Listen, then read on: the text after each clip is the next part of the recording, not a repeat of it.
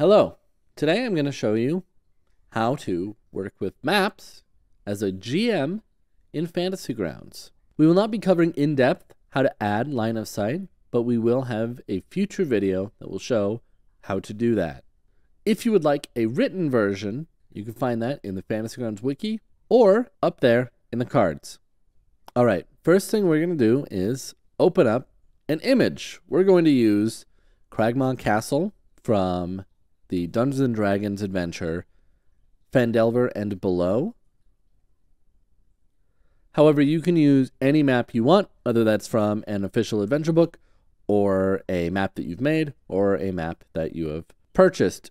The first thing we're going to do is unlock our map to get all of the map options. Before we get into all of the settings, features, and things you can do, let's just talk about basic map controls. You can zoom in and out with your scroll wheel. You can also, up here at the top bar, click this little navigation panel button and open up a panel. It'll tell you what hotkeys do what. You use WASD to move around the map. You can use the scroll wheel to zoom in and out, or the X and C keys to scroll in and out as well. You can also, if you wish, hold the middle mouse button and drag the mouse similar to, say, a real-time strategy type game. With the basic map controls out of the way, we'll get into all of the other options. Some things I want to direct you to is that this top, uh, this top bar shows all the different things you can do with maps, play, layer, paint, FX, line of sight, lighting, masks, and your grid sizing. Uh, we're going to stick to the play section for right now. And then below that, this top window has all of your options. And this bottom window down here shows all of the layers on your map. When you add new images onto the map, they will add up as different layers. A lot of our official D&D maps from the adventure books now have the DM layer separate, uh, which will hide things such as this trap over here, or in this case, it will hide all of the map key so that you can choose whether to see it or not, and you can also toggle GM visibility or player visibility so that if you want to say show this pit trap to your players, you can. Over here in the play options, we've got uh, zoom extents, which if we say zoom all the way into this room, we want to go back to the whole map, you can click that button, go back to the whole map. We've got show and hide shortcuts, We've got enable disable player vision preview. This will show you what your players will see. You'll see that all of those line of sight and lighting shadows get much darker. Um, in this mode, this is for GMs, so you can still see your whole map. You can enable and disable line of sight, and we can enable disable lighting.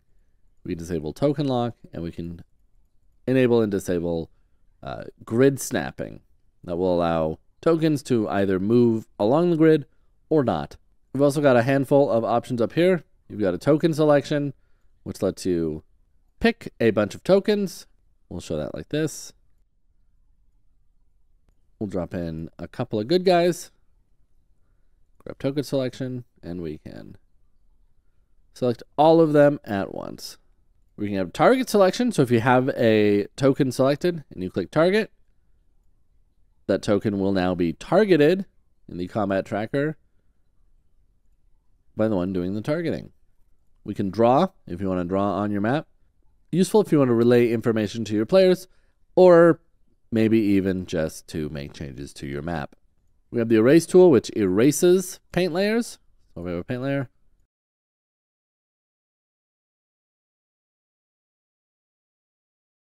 And then there's the ping tool, which we talked about in a previous video. You can find that in the cards. We'll move over to layers. This gives us all our image controls for different layers. Um, that's basically it. You can also use a stamp tool to stamp images in. We'll talk about that in a future video. Same thing with the paint layer. We've talked about this pretty extensively now. In fact, there's another video in the cards for you to check out if you want about how you can use the paint tool to create maps from scratch. Over to effects, Fantasy Grounds has a number of built-in image effects we can add a new effects layer down here at the bottom right there. And we can select rain,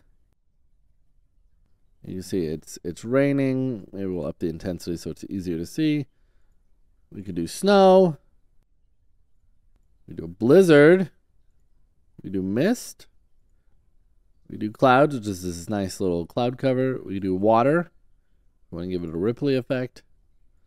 We do an ocean if we want a, a more ripply effect. We can make it look like parchment. Sepia. Grayscale if you want to just black and white. A time of day, which lets us pick a time of day. Adjust colors, which just lets you mess with the colors. And night vision. Very handy if you're playing any kind of sci-fi games. We'll delete that layer. To delete a layer, simply select the layer and then click the delete selected layer button. Go over here to line of sight. You can see that this map has line of sight already laid out. You'll see that walls are in red, doors are in blue, secret doors are a dashed blue line. Terrain is in green. Terrain is a toggleable bit of line of sight data, uh, which means players can move through it. Um, when they're inside of it, they'll see what's inside of it and not be able to see outside of it. And you can't see inside of it. You can also toggle them on and off. Windows are a solid yellow line. Illusory walls are a dashed yellow line. And there's also pit traps, which are a dashed red line. Um, that's what we would likely put over here. There's also shadow casters, which the players, which will only cast shadows, as you can see. We can do that. Lighting lets you control and place all of the lighting in your scenes. You can see that this map has a number of lights preset up for you. Um, you can add lights, you can add token lights, which are added onto tokens. You can adjust token visions if you want to mess with that. And we can change the ambient lighting, whether we want that on or off, and what color we want that.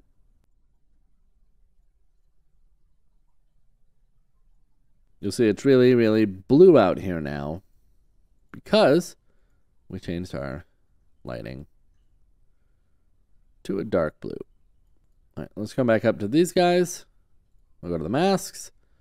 You can add a global mask, which will uh, allow you to, if you want to just mask specific parts of a dungeon, you can do that. Line of sight still works on all of these, uh, but they are now masks. We'll remove that mask. And then finally, the grid. If we want to play with the grid, we can turn it off and get rid of it. We can turn it back on. You can adjust the shape of the grid. You can also adjust the color. Me personally, when I'm working with a grid, I'll put the alpha, the A down here, really, really low. So you can just kind of see it, but it's mostly gridless. I think it looks a little nicer this way. And that is a basic rundown of all of the features of a map from a GM's perspective. If you found this video helpful, please leave a like, hit the subscribe button, and ring that bell to stay up to date as we post more videos like this. If you want to learn more, please visit fantasygrounds.com.